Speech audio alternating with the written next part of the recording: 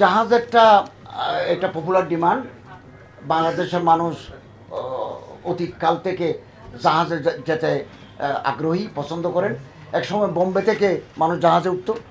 পরবর্তী সময় উনিশশো আশি সালের পর থেকে, আশি সালের আগ পর্যন্ত চট্টগ্রাম থেকে যেত। এই কথা বিবেচনা করে আমি সৌদি আরবের মাননীয় হজ এবং ওমরা মন্ত্রীর সাথে এই বিষয়টা উত্থাপন করেছি।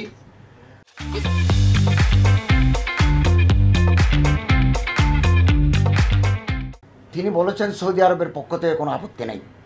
তবে আমি পোর্ট অথরিটির সাথে একটু আলোচনা করব। আমরা বাংলাদেশে ফিরে এসে আমার মন্ত্রণালয়ের কর্মকর্তাদের মাধ্যমে বড় শিপিং কোম্পানি বাংলাদেশের যিনি, মালিক সিউ ওনাকে আমরা আমন্ত্রণ জানিয়েছি। ওনাকে বলেছি যে আমরা জাহাজে কিছু হাজি পাঠাতে চাই। ছ হাজারের মতো পাঠাতে চাই। তিনি বললেন, এত বড় জাহাজ বাংলাদেশে নেই। জাহাজ নির্মাণ করতেও আমাদের সময় লাগবে।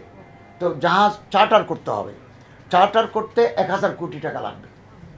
এবং চার মাস লাগবে, দুই মাস আনতে লাগবে, দুই মাস রেডি করতে লাগবে। তো ওনাদের দুই হাজার কোটি টাকার একটা প্রস্তাব বাংলাদেশ ব্যাংকে পেন্ডিং আছে। ওনারা জাহাজ শিল্পের জন্য বড় কোম্পানি আছে। তো আমরা সৌদি মন্ত্রণালয়ে চিঠি লিখেছি যে জাহাজে হাজি পাঠানোর জন্য আপনারা আমরা লিখিতভাবে অনুমোদন দেন। এই এটা আসলেই আমরা আরেকবার চেষ্টা করব বাংলাদেশ ব্যাংকের সাথে অথবা অর্থ উপদেষ্টার সাথে আলাপ করে ওই টাকাটা যে সার করে দিই। ওই টাকাটা কিন্তু অনুদান নয়। ওই টাকা যাবে bank to bank. Bangladesh bank to the schedule banks.